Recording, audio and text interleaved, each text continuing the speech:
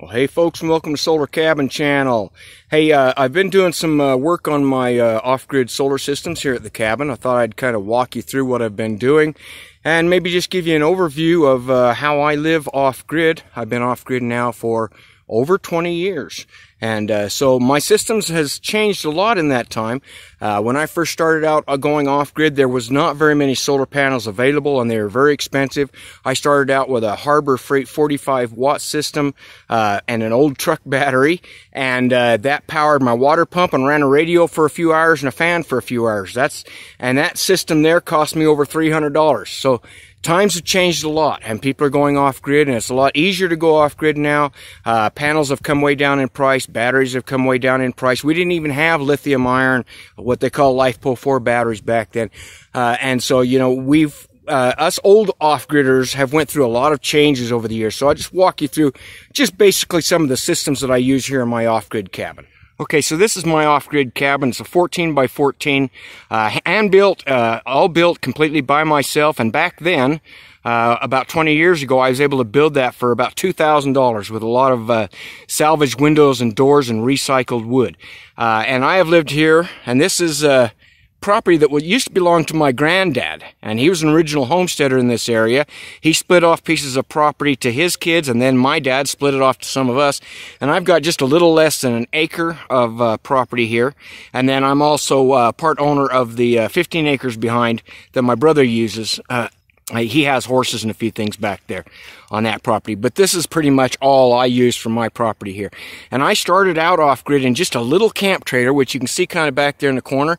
I started off in that little camp trailer back there, uh, just parked it on my property. And this land did not look anything like this. This was completely full of uh, Russian olives and sagebrush and weeds and old crap that had been left behind by the uh, other people that used the property. And so it took a lot of work to get the place looking like this, okay, over the years.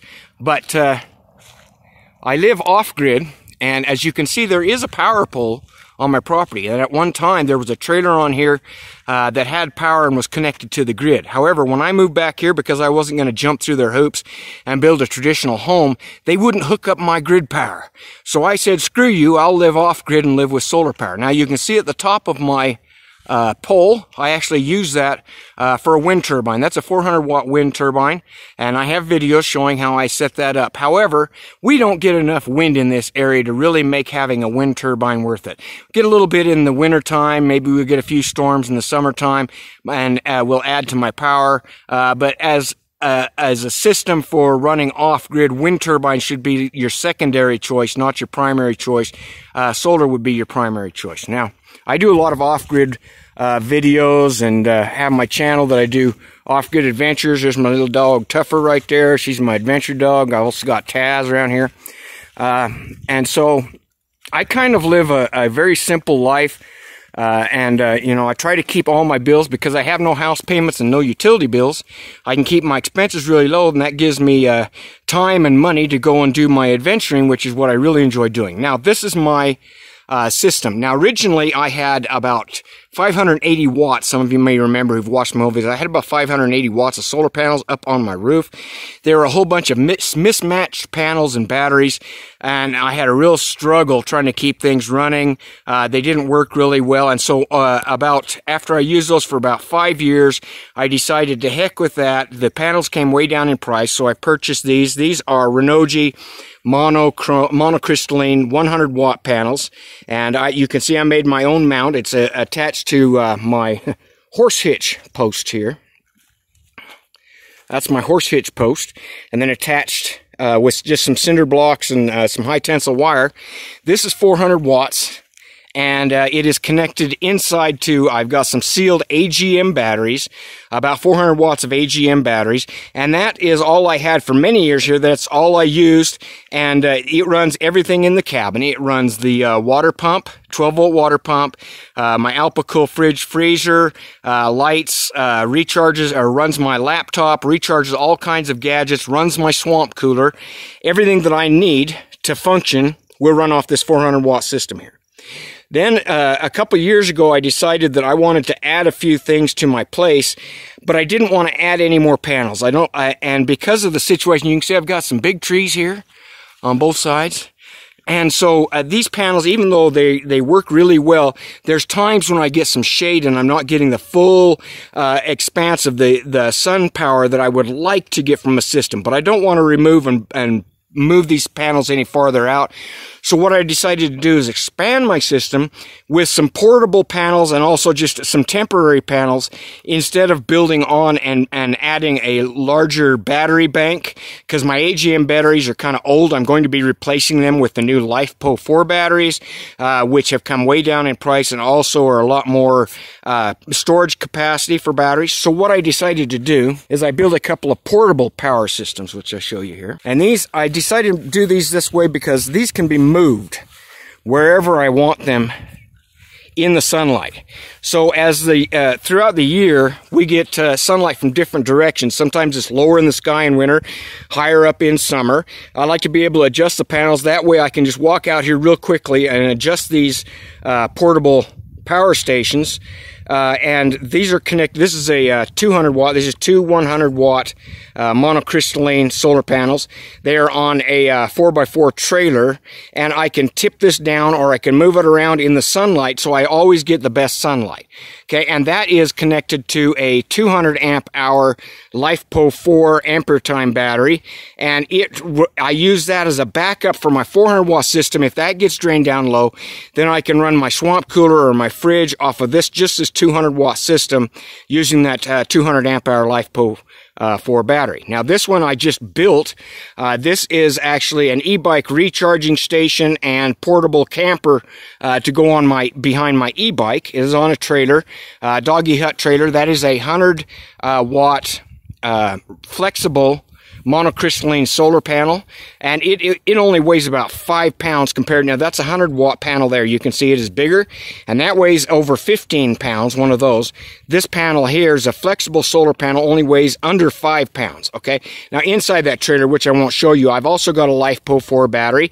That's a hundred amp hour uh, LiFePO 4 made by Bacteria, and I've got this connected so that I can recharge my e-bike and I can take this with me along for camping. But in winter time, what I will do, since I won't be riding the e-bike that much, I can still use this to charge up uh, the battery and then take the battery inside and use that for a recharging station for any gadgets or anything like that. It's an emergency power backup system for my own system. If I happen to have three or four days of really bad sunlight, I still have got this battery that I can use. Now you can also see back there uh, leaning against my Vardo. Those are two of my older panels that I used to have up on my roof, but they still had uh, a lot of life left in them. And those are a uh, 100 and, uh, let's see, 120 watt and a, uh, 100 and, yeah, I think they're both 120 watt uh, solar panels. You can't even get those. The company that made them are out of business now. Uh, but I decided to put them to use, so I also put those up there, leaning up against my uh, Vardo camper, and I use those to also recharge a uh, 100 amp hour AGM battery inside that I use for powering my Wi-Fi and recharging gadgets. Now, do I really need all this? No, I actually don't even need the uh, additional solar panels and portable systems uh, with my 400 watt system out there. But in wintertime, a lot of times because we may get three or four days of low sunlight, uh, my 400 watt system batteries may get drained down and then I can run low on power. So having these backup systems are really excellent for an off-gridder like me because then I can just switch over, or switch my appliances over to one of the other batteries and I can still operate if I get three, four days or maybe even a week of really low sunlight in the winter. I still got enough power to operate everything in my cabin. Plus I added an e-bike, which I'll show you, which is up on my porch here. I've done some videos of it. I added an e-bike and electric mower. Now there's the electric mower made by Sunjoe. And I, I use that instead of a gas mower because I'm trying to reduce as much gas as possible here. That recharges from these portable power systems. And then I also have an e-bike, which I've been using a lot instead of driving my old truck uh, because gas prices are so high. That's my e-bike right there. That's the Ariel X 52 volt, and uh, I can get 30 miles range on that at 30 miles per hour. And I ride that back and forth to uh, do supply runs, and I recharge that from my portable power systems. Uh, instead of charging them from the 400 watt system. So I'm not adding additional uh, load to my 400 watt system. And because I ride the e-bike a lot, it has to be charged pretty much every day. Uh, I didn't want to add that extra load, especially when I'm running a swamp cooler, because it has been hot as hell here. It has been, uh, we've reached days where it's been 104 degrees. And so I have to run the swamp cooler a lot. And if I'm running the swamp cooler all day and charging the e-bike, that's a lot of load to put on that 400 watt system. So these additional power uh, charger stations uh, make up the difference in summertime when I need that additional power. But I don't really need it all the time, and they are a backup system for my place uh, in winter if I do have uh, low Sundays. Okay, so that is the amount of my uh, off-grid systems. Uh, this works really well for my place here. And uh, I also wanted to be able to show people that there are different ways that you can set up your solar panels to make them portable if you need to. This would be a good setup. You can actually tow it along with your truck and uh, use it when you're building. If you're building an off-grid cabin or something like that, you can use it for your power station instead of a generator uh, to operate your tools and lights and things like that, and then use it to run your cabin after you're you're done building it. Okay, the e-bike system there, excellent portable por uh, power station uh, that can be used for anything. You don't have to use it behind an e-bike. You can use a small trailer like that, a 100 watt panel, pull it wherever you want to, put it behind your ATV, take it out in the field when you're working to run your tools or whatever like that. All right, folks, I hope you enjoyed this video. Kind of gives you an overview of uh, how I ended up uh, where I am and off grid with the systems that I use. Have a great day, folks.